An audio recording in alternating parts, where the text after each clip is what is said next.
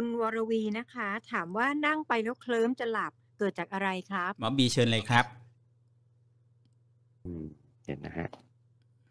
คือผมไม่ได้รู้สึกว่ามีอะไรที่มันแบบ ที่มันผิดปกตินะครับ ไม่ได้มีอะไรที่มันมัน อืมอย่างคุณวรวีเนี่ย ถ้านั่งสมาธิเนี่ยนะ ผมมองว่าถ้าถ้าขอตั้งหลังตรงนะครับ เชิดเชิดคางสักนิดหนึ่งนะ ให้เอย่าอย่าก้มหน้าก้มตานะ อย่าเผลอก้มหน้าก้มตา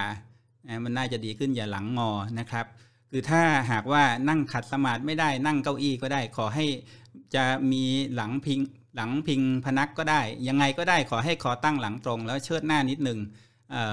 หายใจให้มันอิ่มขึ้นนะฮะมันน่าจะดีขึ้นกว่านี้ไอ้นี่เคลิ้มเพราะว่าคือบางทีเนี่ยเราคนนั่งสมาธิเนี่ยนะมักจะออกแนวแบบว่า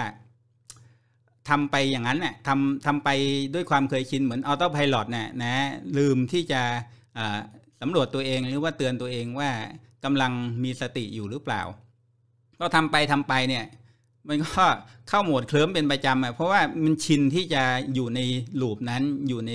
ความเคยชินแบบนั้นนะฮะอืม อืมอันไม่นี้ไม่ได้รู้สึกว่ามันมีอะไรที่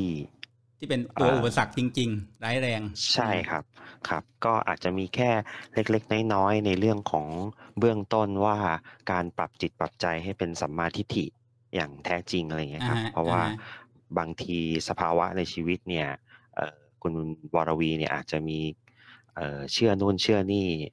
หลารืยออย่าว่างอะไรที่มันไม่ได้อ่าตรงทางอ่าฮะที่เต็มที่เนี่ยมันก็อาจจะทำให้ใจมันเป็นมิจฉาหรือว่ามันสับสนได้อะไรอย่างอ่าเงี้ยครัฮะบโอเคแค่นั้นนะครับ เออคือพอพอใจมันสับสนอยู่กับความเชื่อหรือว่าความคิดเนี่ยมันก็เป็นอารมณ์ที่รบกวนภาวะของใจได้เหมือนกันถูกไหมครับหมอบี ครับผม โอเค